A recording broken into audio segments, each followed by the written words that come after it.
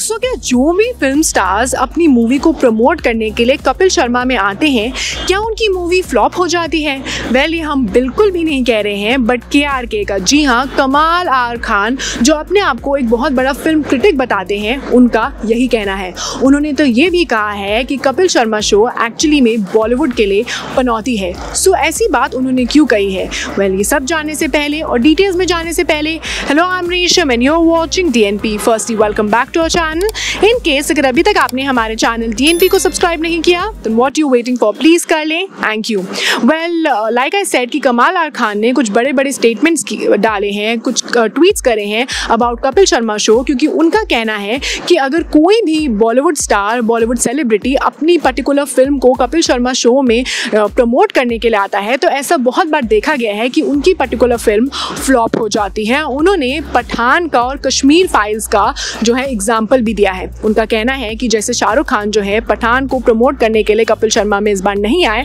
और जैसे कि हम रिज़ल्ट देख सकते हैं कि पठान एक बहुत बड़ी सुपरहिट ब्लॉकबस्टर हो गई है। साथ साथ अगर कश्मीर फाइल्स की भी बात करें तो उनके भी जो सेलिब्रिटीज़ थे, चाहे वो अनुपम खेर हो या फिर उनके डायरेक्टर हो, विवेक अग्निहोत्री, कोई भी अपनी इस फ़िल्म को कपिल शर्मा शो में प्रमोट करने नहीं आया। और कहीं ना कहीं कमाल आर खान का कहना है कि रिज़ल्ट जो है, या फिर इसका जो हम देख सकते हैं परिणाम जो है, वो हम सामने देख सकते हैं कि कैसे ये दो पर्टिकुलर फिल्म्स इतनी ज़्यादा ब्लॉकबस्टर हुई हैं और हिट हुई हैं। बट उन्होंने ये बात एकदम से क्यों कही? Well let me tell you ये उन्होंने ट्वीट इसलिए करा है क्योंकि अभी जो है खबरें आ रही हैं कि अक्षय कुमार जो अब उनकी जो पर्टिकुलर फ़िल्म है selfie with Imran Hashmi Nushrat Bharucha and Diana Penty के साथ जो उनकी ये पर्टिकुलर फ़िल्म आ रही है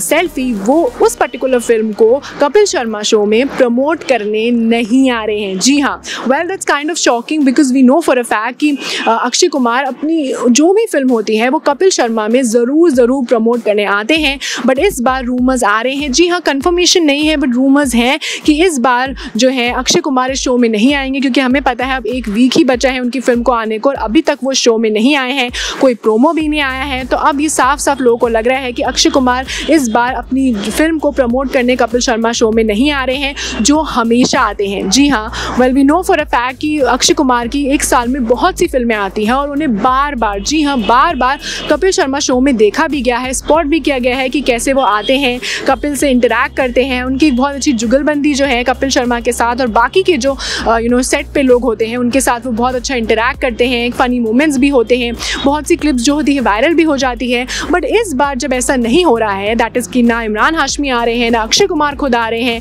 ना डायना पेंटी आ रही है, ना नुसरत बरूचा आ रही है तो लोगों को लग रहा है कि शायद, जी हाँ शायद ऐसा हो सकता है कि अक्षय भी ये सोच रहे हो कि अगर वो इस फ़िल्म को कपिल शर्मा शो में प्रमोट करने आए तो ये फ़िल्म भी उनकी फ्लॉप हो जाए। जी हाँ क्योंकि ये जो चीज़ है, ये जो पॉइंट आउट करी है, वो कमाल आर खान ने की है। सो क्या आपको भी लगता है do you also agree with Kamaal R Khan कि अगर कोई भी पर्टिकुलर सेलिब्रिटी अपनी फ़िल्म को कपिल शर्मा शो में प्रमोट करने आता है तो वो फ़िल्म फ्लॉप हो जाती है? जैसे कि कमाल आर खान ने पठान और कश्मीर फाइल्स का जो एग्ज़ाम्पल दिया, आप इस चीज़ से कितना कितना एग्री करते हैं और कितना नहीं करते हैं। I would really want to know your take in the comment down below and that was all for today's entertainment and Kapil Sharma show and K R K related segment अगर आपको हमारा आज का कंटेंट और video पसंद आया then please not forget to like share and subscribe to D N P you can also follow us on Facebook Twitter Instagram keep loving us keep showering love stay safe and keep watching D N P